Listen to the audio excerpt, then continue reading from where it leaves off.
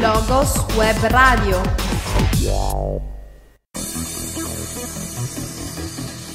Ciao a tutti, oggi abbiamo come ospite Deborah Daniele che arriva da Roma per tenere un corso al centro anch'io di Casalecchio di Reno sull'illustrazione, sui manga. Deborah è un'illustratrice e insegna storia dell'illustrazione all'Istituto Europeo di Design di Roma. È anche un'autrice di saggi sull'Oriente. Deborah, tu sei venuta qui per fare questo corso sui manga. Come sarà fatto questo corso? Come sarà strutturato? Che cosa insegnerai?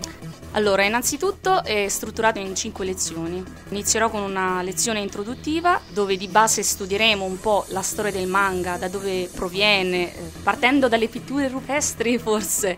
Proseguiremo esplorando diversi autori e diversi stili di disegno. Dopodiché eh, studieremo proprio la struttura narrativa, come si differenzia la struttura narrativa di un fumetto occidentale rispetto a quello orientale, ma anche come si differenzia la struttura narrativa del fumetto rispetto ad altri media come il cinema o il romanzo. Dopodiché inizieremo a fare degli esercizi di disegno partendo dalla costruzione da zero di un personaggio, sia a livello psicologico che grafico. Si partirà creando l'universo intorno al personaggio, cercando di renderlo il più credibile possibile. Dopodiché si passerà a fare uno storyboard, da lì si faranno le matite, poi gli inchiostri, poi i colori fino al prodotto finale. Pensavo comunque di far fare una una storia breve di poche pagine e a scelta dello studente. Qualora non avessero un tema preferito lo potrei fornire io tranquillamente. Deda, il tuo corso è rivolto verso ragazzi delle scuole medie e delle scuole superiori. Un ragazzo che è appassionato di disegno, che vuole intraprendere da un lato, approfondire la sua, la sua, passione, proprio vuole disegnare di più, migliorarsi, dall'altro vuole anche che diventi una professione. Che cosa deve fare oggi? Innanzitutto la preparazione tecnica di base è fondamentale perché mm, siamo in un periodo di estrema crisi per il mercato, per cui molti illustratori di professione passano a lavorare come fumettisti e sono persone estremamente capaci nel disegno, mm, sia a livello anatomico come stile, sono molto prolifici, hanno una varietà infinita di possibilità, di, di mezzi, per cui una preparazione di base è fondamentale, bisogna cercare una scuola adatta partire dal disegno dal vero, perché disegno è soprattutto sapere osservare, quindi anche fare gli esercizi più noiosi come le nature morte aiutano l'occhio del, dell'artista e aiutano la coordinazione tra l'occhio e la mano. E soprattutto bisogna imparare la prospettiva,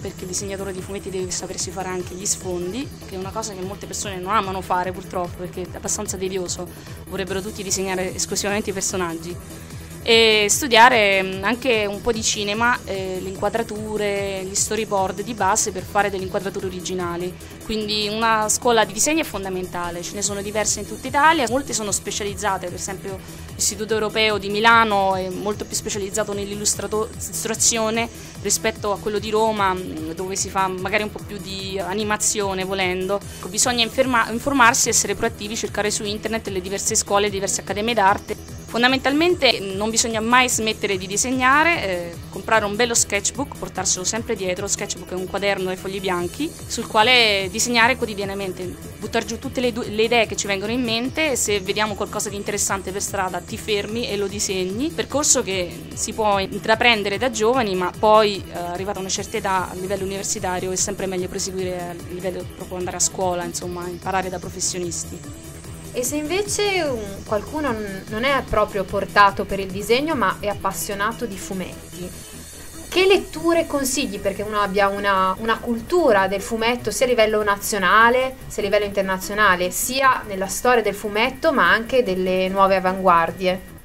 Mm, non è eh, fondamentale essere eh, dei geni nel disegno delle volte, basta che la storia che si racconti sia plausibile, vera, che dia delle emozioni di fondo Prendiamo Marjan Satrapi, l'autrice di Persepolis, non ha dei disegni realistici o fenomenali, sono piuttosto piatti in bianco e nero, eppure leggendo Persepolis c'è tutta la storia del, della sua odissea in Iran e di quello che ha vissuto ne, negli anni diciamo, bollenti eh, in cui si è passato dal governo dello Shah a quello dell'Ayatollah il governo musulmano ha preso il sopravvento. Direi che fondamentali sono le letture di Maus, di Art Spiegelman, che è probabilmente l'unico fumetto al mondo ad aver mai vinto il premio Pulitzer. E farsi un'idea del fumetto occidentale partirei da Will Eisner, che è da tutti considerato il padre del graphic novel, Non disdegnerei assolutamente i comics americani, anche i supereroi, perché ci sono dei disegnatori fenomenali come Alex Ross, poi Miller è bravissimo a, a ricreare anche personaggi che sono già nati in precedenza, lui era inventato Batman volendo.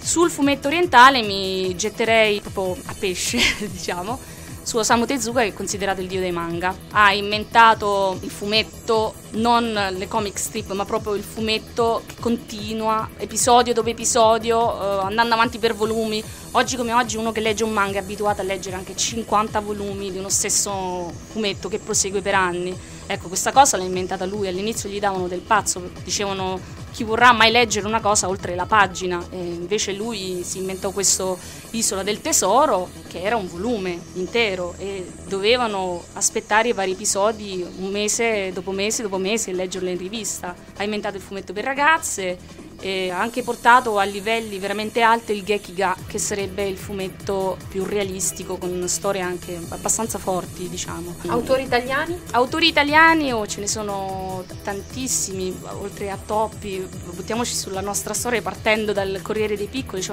una mostra bellissima sul Corriere dei Piccoli al momento a Milano che va assolutamente vista perché è partito quasi tutto dal Corriere dei Piccoli e anche dai primi fumetti di Topolino se vogliamo, insomma Romano Scarpa ha inventato un qualcosa di estremamente diverso rispetto a, alle storie di Topolino e Paperino che sono state pubblicate in America. Poi ovviamente l'Avanguardia, gli ultimi volumi pubblicati da Coconino o 5 il numero perfetto, i fumetti di Gipi sono bellissimi, bellissimi.